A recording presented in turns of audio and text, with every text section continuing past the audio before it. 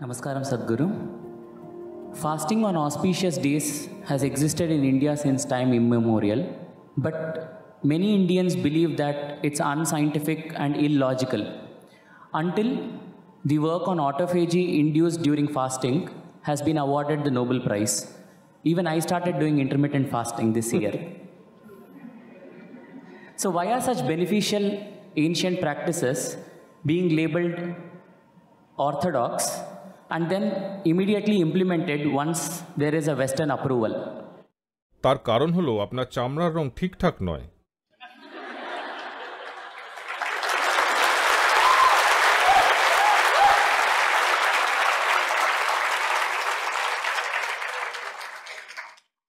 ধরুন প্রায় চল্লিশ বছর ধরে আমি এই কথাটা বলে যাচ্ছি ঠিক আছে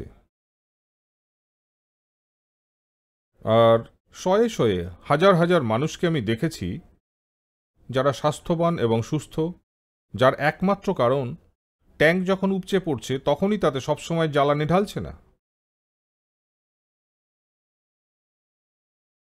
ঈশা যোগ কেন্দ্রে প্রত্যেকেই খায় সকাল দশটায় এবং আরেকবার সন্ধে সাতটায়। আমাদের জীবন শারীরিকভাবে খুব সক্রিয়।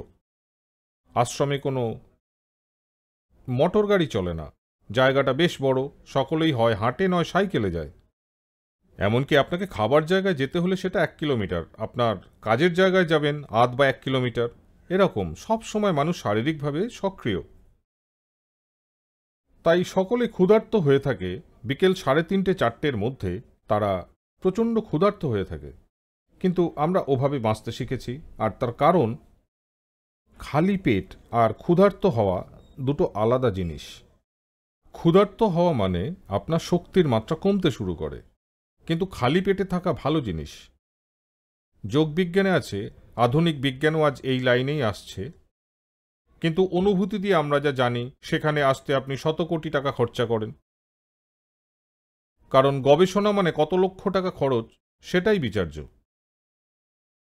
আপনার শরীর ও মস্তিষ্ক সবচেয়ে ভালো কাজ করে যখন আপনার পেট খালি থাকে। তাই সর্বদাই আমরা এটা নিশ্চিত করি যে আমরা এভাবে যেন খাই, যতটাই খাই না কেন, সর্বোচ্চ দুই থেকে আড়াই ঘণ্টার মধ্যে আমাদের পাকস্থলী যেন খালি হয়ে যায়।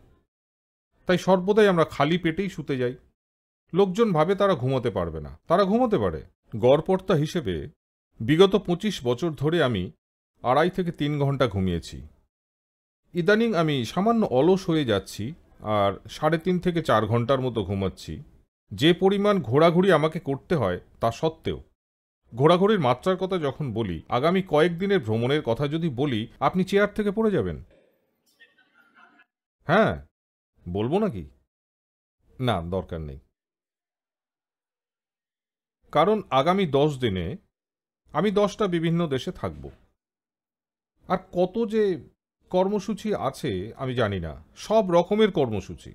সুতরাং এটাকে বজায় রাখতে আপনি সক্ষম হন তার কারণ, আপনি অতিরিক্ত খাবার খান না। এটা অত্যন্ত জরুরি।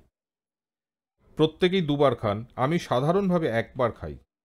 সন্ধে সাড়ে চারটে, পাঁচটার দিকে। কারণ থালার সামনে বসে কতটা খাব চিন্তা করাটা আমি পছন্দ করি না। আমি ভালো করে খেতে পছন্দ করি। তাই সন্ধে সাড়ে পাঁচটা একবার খেলে তারপর সেই পরের দিন। এটা কি যথেষ্ট? আমাকে কি সুস্থ লাগছে? হ্যালো? আমাকে আপনার রোগীর মতো লাগছে না তাই না? আমি আপনার কাছে আসছি না। কারণ যে কোনো সংশোধন ও শুদ্ধিকরণ শরীরের মধ্যে ঘটার জন্য আপনার পাকস্থলী খালি থাকা প্রয়োজন এটা অত্যন্ত জরুরি। তা না হলে কোষের মধ্যে শুদ্ধিকরণের ঘটনাটা ঘটবে না।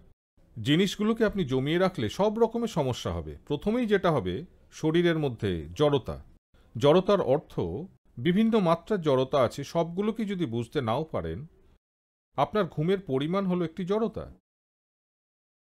আপনাদের বলছি আপনারা এখানে বাঁচতে এসেছেন না? হ্যালো? বাঁচার জন্য ঠিক এই জায়গায় নয় জীবনের কথা বলছি। আপনি বাঁচতে চান না? Life is to live, isn't জীবনের উদ্দেশ্য হলো বাঁচা তাই না? কিন্তু আপনি আমেরিকার ডাক্তারদের কথা বলেন এই সবগুলোই এখানেও নেওয়া হচ্ছে। আমেরিকা সব ডাক্তারই বলেন, আপনাকে কম করে সাত থেকে আট ঘণ্টা ঘুমোতে হবে। তার অর্থ হলো, জীবনের এক তৃতীয়াংশ আপনাকে ঘুমাতে হবে। আরও দু ঘণ্টা, তিন ঘণ্টা, চার ঘণ্টা যাবে স্নান প্রসাদন খাওয়া, এটা, ওটা, সেটা করতে। তো আক্ষরিক অর্থে, জীবনের পঞ্চাশ ভাগ সময় যাচ্ছে রক্ষণাবেক্ষণে। ধরুন আপনার একটা গাড়ি আছে, একটা মোটরসাইকেল বা কার আছে এটা যদি মাসে একদিন সার্ভিসে যায়, এটাকে রাখা ঠিক আছে। এটা যদি মাসে পনেরো দিন সার্ভিসে যায়, এটা উৎপাত হয়ে যায়, তাই নয় কি? অধিকাংশই তাদের দেহতন্ত্রকে উৎপাতে পরিণত করেছে, কারণ তাদের নিজের শরীরই জীবনে এক মস্ত বাধা হয়ে দাঁড়িয়েছে। যা কিছুই তারা করতে যাক, তাদের শরীর সেটা করতে দেয় না। তো এর মধ্যে অনেক দিক আছে। একটা গুরুত্বপূর্ণ দিক হলো, যতটা খাওয়া উচিত মানুষ তার চেয়ে অনেক বেশি খাচ্ছে। এর সহজ কারণ তাদের বলা হয়েছে, বেশি করে খেতে হবে, না হলে দুর্বল হয়ে যাবে, ইত্যাদি ইত্যাদি। না, এটা আপনার শরীরকে রাখার জন্য। প্রত্যেকেই চেষ্টা করছে ফুয়েল এফিশিয়েন্ট বা জ্বালানি সাশ্রয়ের মতো গাড়ি মোটরসাইকেল তৈরি করার জন্য। এর অর্থ হল, যন্ত্র যদি মসৃণভাবে চলে, এটা কম তেল খাবে, তাই না? তো আপনি এখানে বসে যদি খুব সহজ হয়ে থাকতে পারেন, এখন এটা কম জ্বালানি খাবে। আপনি যদি এরকম হন সবসময় তাহলে এটা বেশি জ্বালানি খরচ করবে। আর চাইবে আপনি যেন আরও খান। এটাকে ঘিরে বাধ্যবাধকতা আসবে।